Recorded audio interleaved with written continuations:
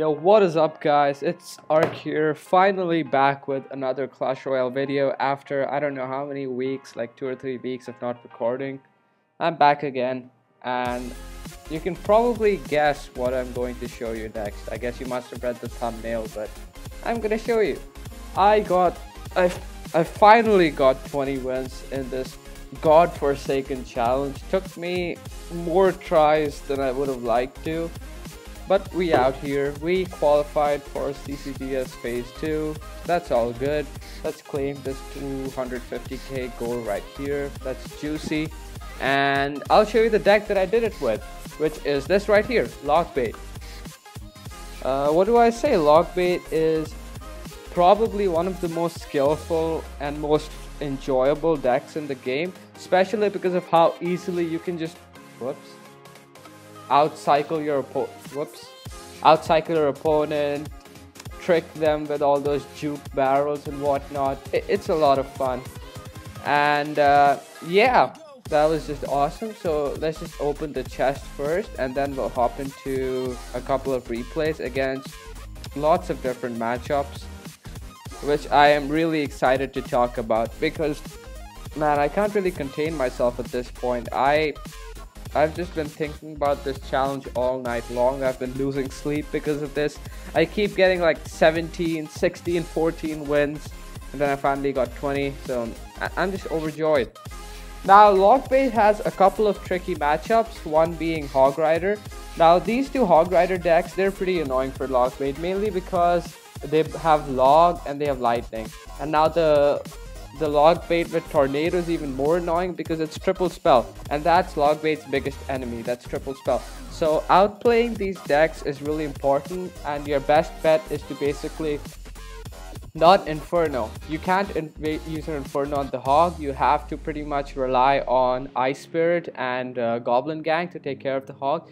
Those will negate 100% of the hog rider's damage and mostly your opponent will be reluctant to log the goblin gang because they ideally want to save their log for your um what you may call it goblin, goblin barrel.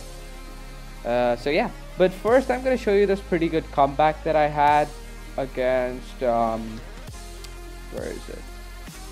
Yeah i think this was it. Yeah this was this was an absolutely unreal comeback against nico 67 I misplayed so hard in the beginning, but I was able to basically recognize that I could get free rockets. A lot of the time, a lot of the times you will have to rocket cycle your opponent because your goblin barrels just won't do enough damage if they can counter them efficiently. So here I log his um, goblins and use my knight to counter the bandit. Knight is probably one of the best bandit counters in the game, if not the best and I just Ice Spirit to cycle. It's really important to keep cycling in this deck. Now here he gets a good little miner connection and his bat, single bat deals a bunch of damage and he's able to negate a lot of the damage from my Goblin Barrel as well. Actually that was a pretty bad counter from him. He, he pretty messed that up pretty hard. And I just log again because I need to keep cycling, keep out cycling his spells and getting my damage off. So here, I don't know what I do. I definitely shouldn't have played my Inferno there. I should have played my Knight. So here's where I mess up hard because his uh, Bandit just connects and his Bats connect, his Miner connects, and I'm in trouble right now. I really am. At this point, I was thinking, well, that's GG. Nothing I can do here. Because Bats are just so strong. The fifth Bat added so much more uh, power to this card because uh, not only do the bats like always not always but most of the time they do reach your tower but they just have so much DPS it's crazy. They'll just melt down your tanks if you don't address them. So taking zap in this uh, meta is definitely a viable option especially just solely because of the bats and they're pretty much in every deck. So here he gets a good prediction poison and I recognize that he's probably low on elixir so I just rocket anyways.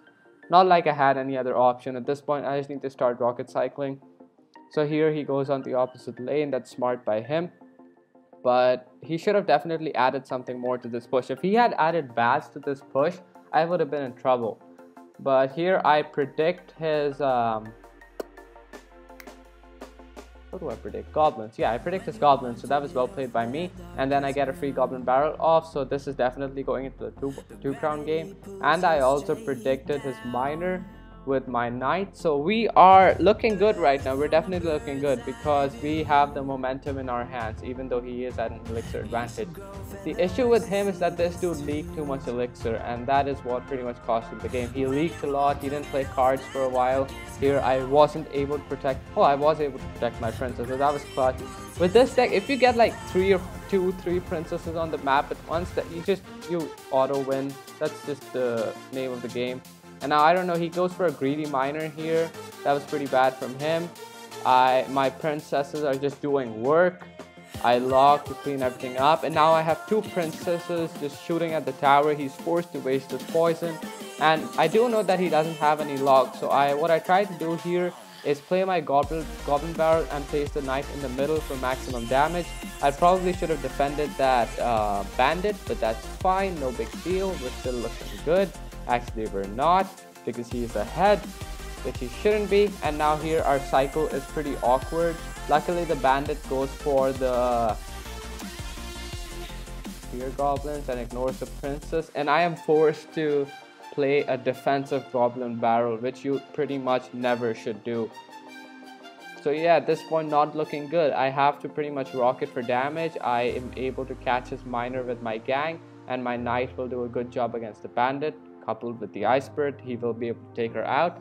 And my princess is just doing her thing on the left hand side. I rocket again. So at this point i i either need two rockets or one rocket and a bit of chip because log wouldn't be enough. Log would do a rocket does 493 damage and a log does 96 and that adds up to 499 plus 90 that's uh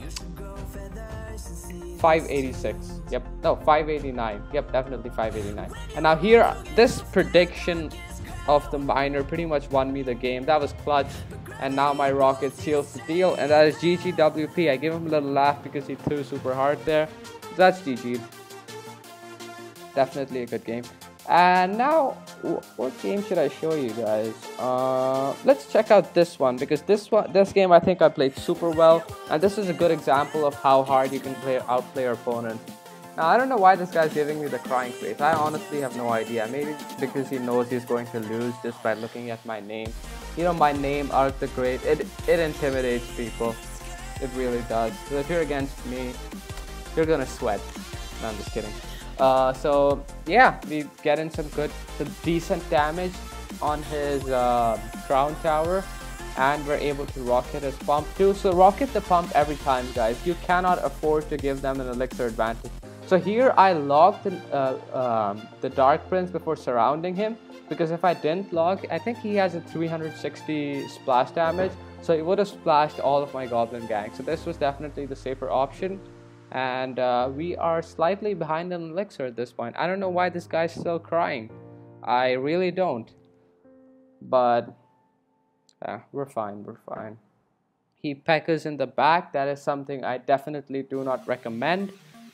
I am just going to play my princess to cycle. I don't know why he's laughing. I really don't know what this guy's doing. But he's going to lose. Uh, so we play our Inferno to counter the P.E.K.K.A. We're going to rocket the pump and uh, we're just gonna let the ice wizard do its thing. We really don't uh, actually we can't defend the princess at this point. And even if we did he could have just zapped her. So we just have to get our goblin barrels in and we'll be fine. We'll be fine. So here I ice spirit goblin barrel because since he has a zap and not a log, the Ice Spirit will be able to freeze the tower and that would allow me to get a bunch of damage with my goblins. He does Tornado, but because this guy's absolutely garbage, he isn't able to activate the King Tower. He gives me another laughing face. I'll take that, baby. That was awkward. Okay, ignore that. I never said that, okay? Uh, so moving on, he plays as Dark Prince, which is questionable. Uh, he's giving me a good luck now. I think he think he's gonna win, which is not true. So I, I, I Ice his Dark Prince, and then I use my Knight to counter the uh, Executioner, and I Rocket his Pump yet again. So that is definitely some well played by me, keeping it fast, keeping it quick, keeping it cycly. Because that is what you have to do with a deck like this. Just keep cycling, keep the pressure on, especially against heavy decks. You just cannot allow heavy decks to make big pushes like they want to. Lava Hound, Golem, P.E.K.K.A. You need to keep them under control by constantly harassing them with your goblins. Now this was a really bad Inferno placement by me and by really bad I really do mean bad. It wouldn't have pulled anything but luckily I was able to get a good knight placement along with my log so that pulled his P.E.K.K.A and his Dark Prince over to my Inferno. And Dark Prince is it's just a shit card. And at this point I know that I've won so I just ignore his garbage riffraff right there and just rocket. I don't I don't even know how I got that damage off over there. Oh yeah, I got it before and then I just defended. So that's perfect. We give him a little crying face, a little taste of his own medicine. And yeah. So the last replay I'm gonna show you actually I'll show you both of these because it's really important to know how to play against hog riders when you're using this deck because hog riders are the biggest counter to Log Bait. Not hog riders by itself, but hog triple spell. That is one hell of an annoying deck and sometimes with that in that matchup you just have to rely on rocket cycle so first i'm going to show you a replay against this deck the P.E.K.K.A hog deck it's pretty popular in this challenge so if you're to do this challenge after you watch this video definitely watch out for this hog P.E.K.K.A deck because pretty much everyone's using it so again starting off pretty much every starting hand is ideal with this deck because you can just cycle very easily you have all your cards will give you value especially because they are so cheap. Here, I don't have any, actually, yeah, I do. I, I spirit his uh, hog and then I use my goblin gang because as I told you guys, using your inferno on the hog rider is a pretty bad idea. Not only because it's a negative one trade, but also because he can get a free lightning off thanks to the inferno and that'll just give him additional tower damage.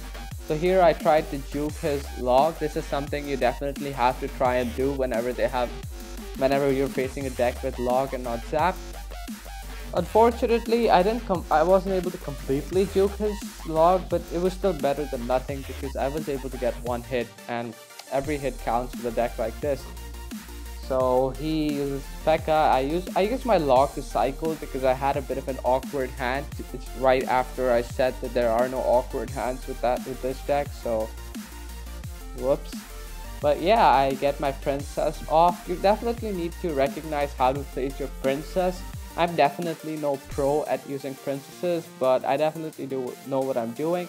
So here I use my goblin gang to counter the hog. The inferno takes care of the what you may call it, P.E.K.K.A. And he goes for a pretty late lightning. And I predict his goblins. Yep, I do predict his goblins and I know that he'll have low elixir at this point. So immediately after the bats die, I hit him up with another princess because this uh, heavy decks like this don't really have good answers for low cost cards.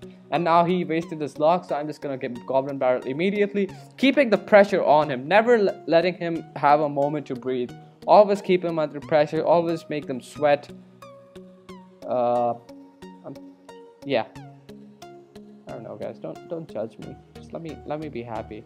So here I'm forced to play my Inferno because if I played my Goblin Gang, he could have just, uh, his Hog would have gotten a ton of hits off. He doesn't Lightning, for, uh, fortunately. And I try to play a Juke Barrel, doesn't go through. He's forced to play his Electro Wizard to counter my Princess, which I counter with my Knight. And I play my Ice Spirit, I believe. Yep, I play my Ice Spirit, I play my Goblin. No, I play my Inferno right at the bridge because I know that his uh, Electro Wizard isn't in cycle and uh, he, he doesn't have zap or anything. So I get a pretty good catch onto him and that is GGWP. So what you have to recognize with this is that you have to keep the pressure on. You don't, you cannot allow decks like this Hog Rider de deck to get a moment to breathe because if they do, they're just gonna log your Goblin Barrel every time and just keep Hog Lightning for the win. FTW. So yeah, for the final replay of the day, I'm gonna show you replay against this uh, Hog. Um, um, why am I lagging? This Hog Executioner deck, which is arguably the hardest matchup for us. So I'm gonna show you guys how to play against it. Yeah, so starting off, nothing too special going on. He Ice Spirits, I play my princess. I'm leaking elixir a bit. Leaking elixir is not what you want to do with this deck. As I told you before, you have to keep it fast paced, quick. Um, gotta go fast. Yes. So I try to counter his executioner with my knight, which I do pretty well. He is forced a tornado, and he's able to catch my um, Goblin Barrel with his log. I'm a bit tired, guys. I just got done playing this challenge, and it's exhausting. But whatever, we'll get this done. We'll get this video out in time so that all of you guys should be would be able to get the 20 wins as well. And he goes for a Knight hog Rider push, which I saw coming, so I immediately log, and then I play my Goblin Gang to counter him. Mm, yeah but he still gets two swings off which is not ideal. I have to just say my goblin barrel. I try to juke him out which I do. I do juke his log and that's something that really helped me out in the long run. Because now his uh, log is out of cycle I can just quickly play my princess. I don't know why I was waiting for so long. I really shouldn't be. And now I play my knight I play my goblin gang and right there I'm back to my uh, goblin barrel before he has his log. so he's forced a tornado here but the tornado isn't going to do anything baby. My goblins get tons of stabs off of that tower doing around 600 damage maybe more than that I don't know and my princess is still chipping away so I just play my ice spirit to cycle and this, this was a bit weird I definitely do not agree with that the Executioner immediately switched targets from that um, Ice Spirit to the Princess. That was a bit questionable. Uh, so yeah, I go with the same play again. I try to play a Juke Barrel, but I think he catches it this time, so well played by my opponent. I immediately play my Log because I need to keep cycling with this deck because my opponent's deck doesn't have any like elixir efficient counters for the princess. So here I, yes, I um Inferno here and he's forced to lightning but I am ahead in damage so that is good. I've got that going for me. He does perfectly counter my um, goblin barrel but that's fine I try to get some chip with my princess but my opponent had a good prediction knight so he was able to stop my princess. I don't know why I played my knight so far up front. That was a bit of a mistake by me. And here I'll catch his executioner with my ice spirit and goblin barrel again which he will be able to log. This was a really bad um, hog placement by my opponent and I knew that he was gonna lightning so I just rocket immediately because here it was pretty much an even trade six for six and this uh, I was confident that my towers would be able to defend since uh, the, both of them were hitting the hog rider so he goes for another hog which I counter with my ice spirit Goblin Gang com combo negating 100% of the damage from the Hog Rider and here I'm looking good. All I need is maybe a couple of more chips from my Goblins and uh, one more uh, rocket. So I don't, that was a questionable log from me and now here things are looking a little sketchy. He does a log but my Inferno is able to catch his hog out and I'm able to finish him off with my Goblin Gang and that is GG because he won't be able to completely defend my... Oh wait, spoke too soon. Haha, he did a good job defending my Goblin Barrel, but that was 6 for 3 trade. So yeah, all I need at this point is one more log and a rocket. I should be able to defend his hog pretty easily. He gets a good lightning off, but that isn't going to do much at this point. All I need is one 8 elixir so that I could rocket and log his tower. And that is GGWP. Give him a little thumbs up because he had the counter deck. So yeah, that's it guys. Thanks a lot for watching this video. Really do appreciate all of your support.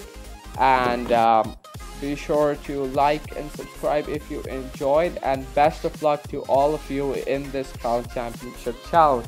I have been Ark the Great and I'll see you guys later. Peace.